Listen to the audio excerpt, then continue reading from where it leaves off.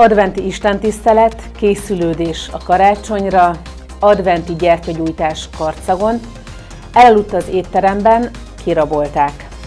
Jó estét kívánok! Önök a nagykundsági híradót, a Karcag Televízió napi hírműsorát látják 2022. november 28-án, 18 óra 5 perckor.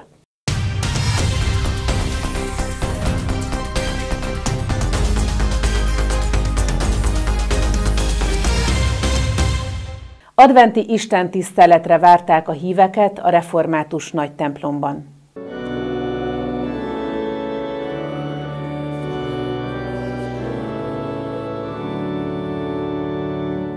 A mai tudomásunk és tudományunk szerint mi vagyunk egyedül a Földön emberek, akik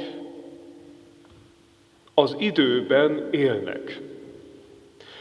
Abban az értelemben, hogy képesek vagyunk fölfogni, megfogalmazni, képesek vagyunk magunkat az idő állapotában tudni.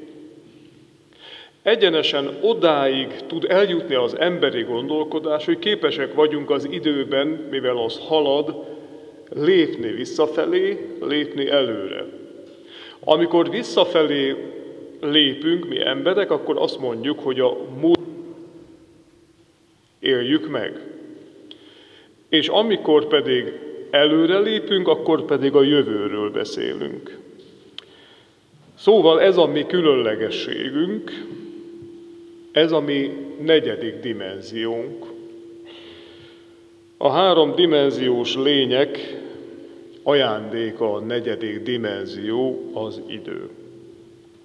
Mit jelent a dimenzió? A dimenzió egyébként nagyon érdekes, hogy a szanszkritből lett átvéve az indo-európai nyelvekbe, és így a latinba, és a latinból pedig átvettük. Azt jelenti, hogy a gondolkodásnak mens, értelem, a gondolkodásnak a kitágítása.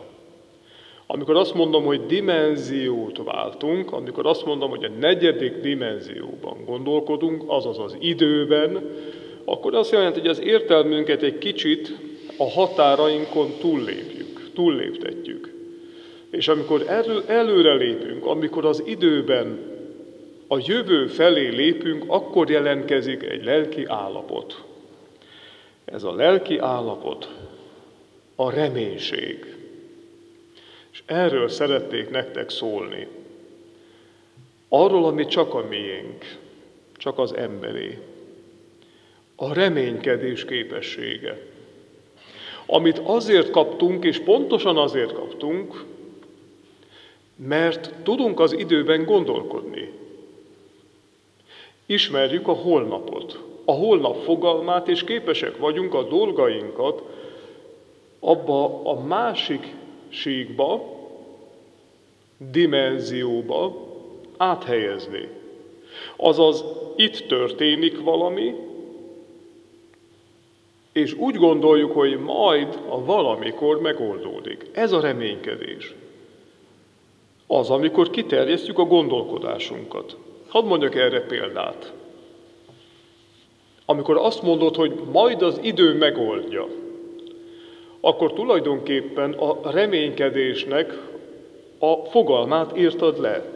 Mert itt történt valami, megoldhatatlannak látszik, és kiterjeszted a gondolkodásodat, és azt mondod, hogy majd valamikor, valamilyen módon ez megoldódik.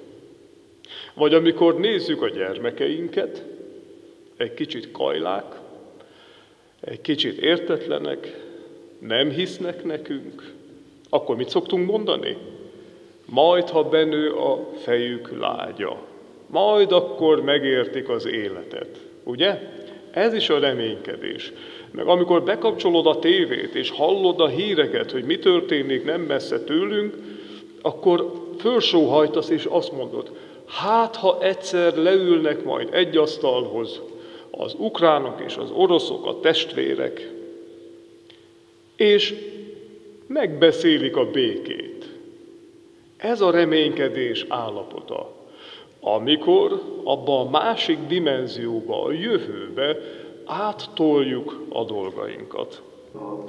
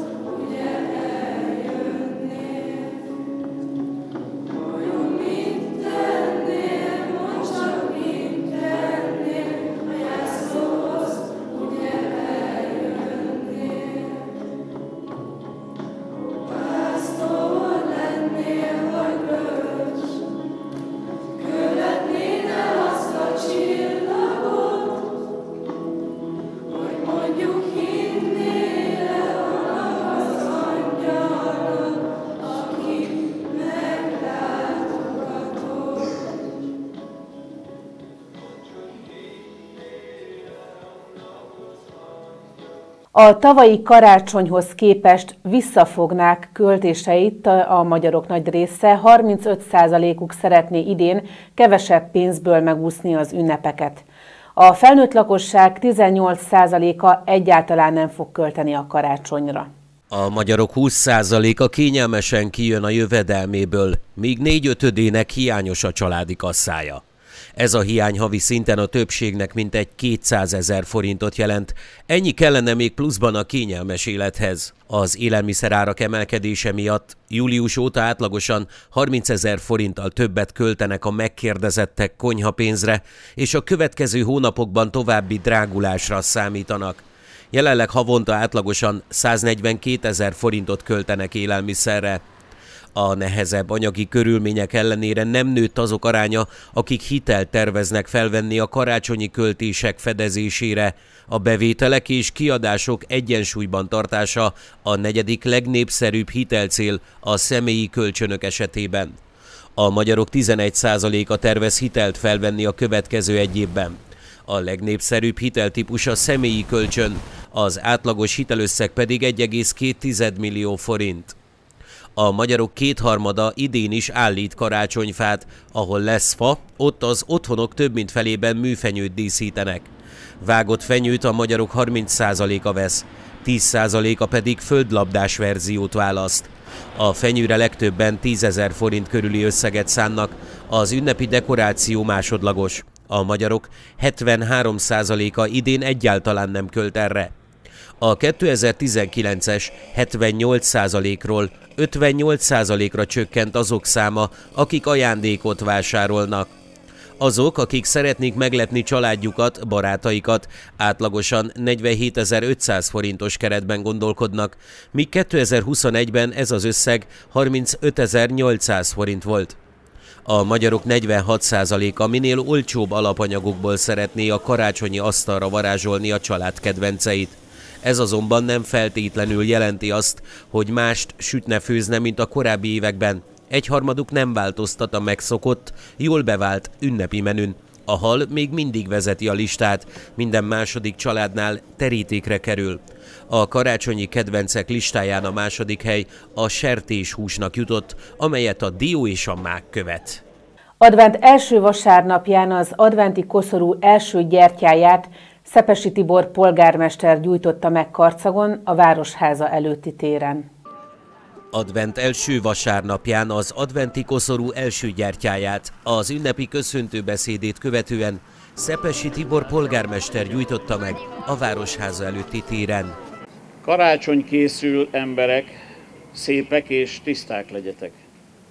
Súroljátok föl lelketek, csillogtassátok kedvetek, legyetek újra gyermekek, hogy emberek lehessetek. Tisztelt ünneplő közösség, hölgyeim és uraim, kedves vendégeink! Karcagváros önkormányzata nevében szeretettel köszöntem Önöket Vas Albert soraival advent első vasárnapján. A mai napon kigyulladnak advent fényei. Elkezdődik az adventi időszak, mely a közelgő karácsonyról az újjászületésről, az erre való várakozásról szól. Hiszen az advent jelentése az eljövetel, a megérkezés, a boldog várakozás öröme. Megérkezni és türelemmel várakozni. Milyen egyszerűnek tűnik mindez, milyen könnyű kimondani, de milyen nehéz ezt a nyüzsgő és rohanó világunkban megvalósítani. Amikor olyannyira elfoglalnak minket a hétköznapokban a feladatok, a kötelezettségek, a világnak való megfelelés kényszere, hogy amikor egy kisé lassítani kellene, és szeretteink felé fordulni, bizony csak nehezen vagyunk képesek a megállásra, az odafigyelésre. Az elmúlt években a körülöttünk zajló élet átírta mindennapjainkat. Az egész világot sújtó járvány, a szomszédunkban dúló háború, vagy a miatta bekövetkezett gazdasági nehézségek mindannyiunk életét befolyásolta, befolyásolja. De alakuljanak is bárhogyan a következő időszak eseményei, ne feledkezzünk meg a hozzánk legközelebb állókról. Az otthon nyugalmáról, szeretteinkről, az adnivágyásról, az odaadásról, a másokért, szeretteinként való tenni akarás érzéséről. Várakozunk, és reménykedünk. Reménykedünk, hogy az eljövendő jóval, széppel, egészséggel és békével érkezik majd mindenki számára. Ahogyan az elmúlt években, évtizedekben, most is örömmel várjuk az ünnepet. Megállunk, elcsendesülünk, magunk és szeretteink irányába fordulunk. A szeretet ünnepén felerősödnek érzelmeink, családunk, közösségünk iránt. A megváltó megszületése óta hisszük, hogy csak a szeretetben születhet újjá az élet. Az adventi koszorú fényei, a négy gyertya évszázadok óta a biztosan bekövetkező, mindannyiunkra váró örömhírre figyelmeztetnek. Arra, hogy nem vagyunk reménytelenül magunkra hagyva és kiszolgáltatva ebben a világban. Az adventi koszorún minden gyertya egy fogalmat szimbolizál. Ezek a hit, a remény, a szeretet és az öröm jelképei. A mai napon az első gyertya lángja lobban fel az adventi koszorún. És bár egy gyertya lángja még nem a tűz, de benne van a melegség ígérete, ahogyan erről Kun Magdolna verse is szól. Advent első gyertyalángja legyen ma a béke. Apró gyermekszívek szép reményű éke. Ráncos, fázós készfejeknek forró meleg kájha, szomorú arcocskáknak pihe-puha párna. Advent első gyertyalángja legyen ma a mosoly, ott is, ahol szívfájdító nyomorúság honol.